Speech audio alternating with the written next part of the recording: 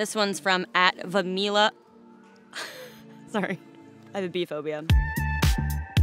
Hi, InStyle. I'm Camila Mendes, and I'm gonna open some fan mail. So this one's from at the CW Riverdale cast.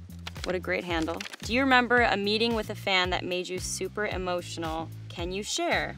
Yes. One time I met a fan on an airplane. I think we were both coming back from Brasilia, which is where my parents are from in Brazil. She and I were both headed back to LA, and she came up to me when I was in line to get on the flight. And then we found out that we were sitting next to each other. And we ended up talking for the entire, I don't know, eight hour flight. I can't remember how long it was. But she and I talked about how we both had body image issues and how she also struggled with an eating disorder and how I helped her, you know, accept herself. And she just, she expressed her appreciation for the things I've spoken about and shared her story and it was really emotional and she's still a friend that I that I keep in touch with sometimes. What do you miss most about your hometown? Oh, I miss probably Kiara the most. My friend Kiara who lives in Miami. I miss her so much and I wish I got to see her more than I actually do.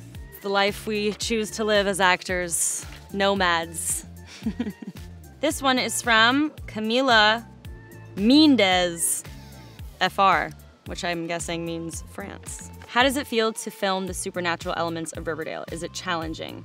Yes. Um, but in a fun way. I think I'd always hoped that one day we would dive into the supernatural because it just feels like something that Riverdale should do in its penultimate season. So that's been really fun. I think it makes sense in the comic book world of Riverdale to experiment with new genres. What can you tell us about Loop's Beauty?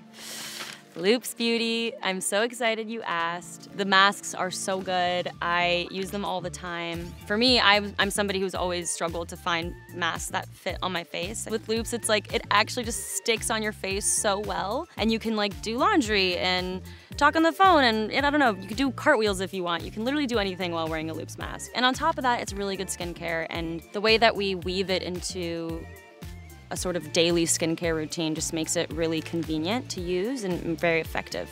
Oh my God, this one's from at Do Revenge. We love to see it.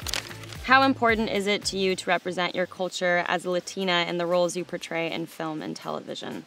It's very important to me, not just that I am out there representing people, but also that I'm creating more opportunities for people, for other Latinas to get out there and have their name be known. My goal is to produce more and to create projects that do that. What is one lesson you've learned in the industry that you carry with you in your work? That nobody's gonna look after you except yourself. And you gotta look out for yourself, you gotta stand up for yourself. And if you have a problem, speak up. Just do it respectfully and with grace. That's it. This one is from at Cammy's M Closet. What was one of your fave pieces that you got to wear either in a show, TV, or the red carpet? Ooh, that's a tough one. I wore this insane necklace to the Vanity Fair Oscar party. I think it was Messika jewelry, and it was really expensive. and, and beautiful, and I felt so glamorous wearing it. I think that was the first time I'd ever worn something like a really heavy set of jewelry. So I just felt very chic that night. Are there any upcoming projects that you are excited for fans to see? Yes, there are a couple. One of them I cannot speak about.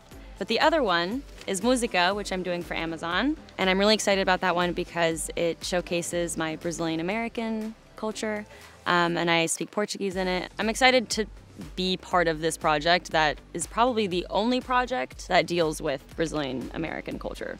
It feels like a big moment for the Brasileiros, you know, my people. What is some advice that you would give to younger Camila if you had the chance? If I could give advice to younger Camila, I'd say, he's not worth the tears, honey. Move on, there's another one right around the corner. And if that one doesn't work, there's another one right around the corner, I promise. This one's from at Vamila. Sorry. I have a bee phobia. This one's from at Vamila Archive. Since we are coming to the end of Riverdale, if you could write an ending for Veronica Lodge, what would you most like to see for her?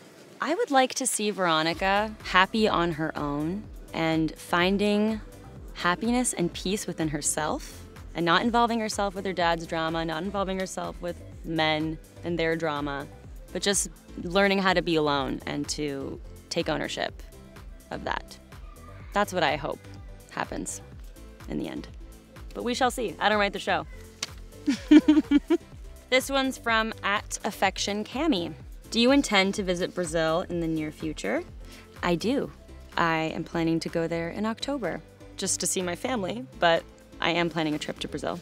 Well, thanks for having me InStyle. I hope you enjoyed watching me open all my fan mail.